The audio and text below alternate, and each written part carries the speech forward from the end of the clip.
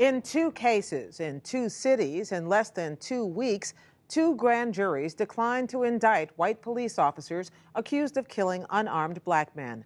But in today's case in New York, it was on tape. Hari Sreenivasan has more on the case of Eric Garner.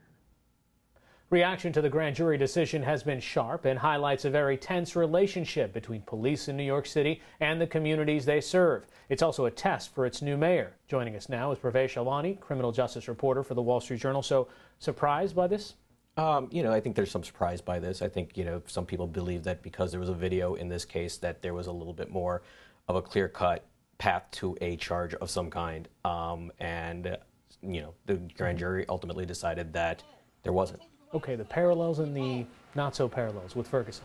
I think that you know some of the parallels are you know, there's there's a belief that it's almost impossible to indict a police officer in in a case where a uh, a autopsy reveals that there's a homicide, but there are very different uh, situations here. Just you know, in one how they sort of played out, and two the you know the, the, the on, on the ground the way the, uh, the, the situation is. I think New York City is in a much different situation than Ferguson is. Right. You know, we just played a little bit of the video. And I think most of the country is sitting there wondering, wait, this was.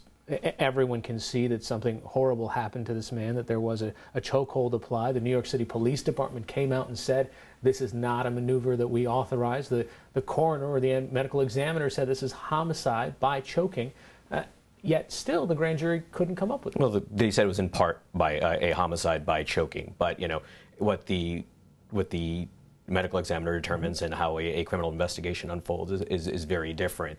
Uh, you know, chokeholds are banned by use by the NYPD, but the unions and the officer have maintained that it's a maneuver that they were taught at the academy, and it was using that maneuver and not intended to be a chokehold at all. Right. This evening, we also heard the mayor go out and say that this is just one chapter that's closed. Correct. This is something the New York Police Department and the city has been preparing for. Correct. The NYPD has been preparing for this for weeks. You know, the uh, the police commissioner even last week after the Ferguson riots uh, sent down a couple of his own detectives to learn on the ground techniques uh, and learn get on the ground information for how New York City could proceed. You know, when when Eric Garner's uh, decision came down, um, you still have two other pending investigations. You have an internal affairs investigation that'll determine if uh, Officer Pantaleo was actually in violation of NYPD protocol. You also have the uh, Department of Justice announcing that they're opening a civil rights investigation today into the Eric Garner matter. Okay, so when these investigations happen, is that going to change the feeling of the cops on the street, the ones that you talk to as you do your reporting? Right now, what, what's the position that they're in? Uh, it, it, it, it's going to it's you know it's going to depend on on how things sort of unfold. I think over the next couple of days. I mean, there is some apprehension on the uh, on part of the cops is what you hear from uh, some of the unions out there. But at the same time, you hear the police department say that you know the cops are are going to you know go through some retraining and and you know ultimately they expect uh, officers to do their jobs. Right. And what kinds of retraining has the police department considered in the wake of this and in the wake of the Ferguson case, which, while it's different, is coming within a week of this? Sure.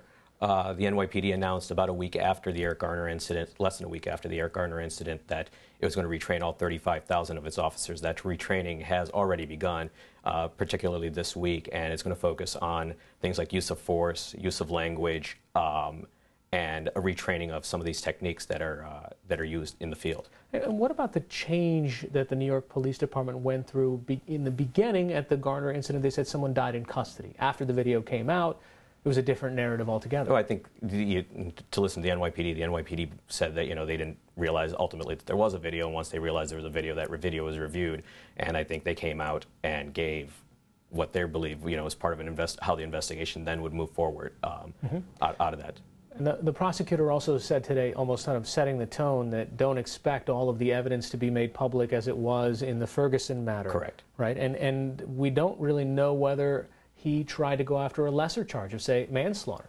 Right. I mean, it's it's not 100% clear what charges were presented to the grand jury.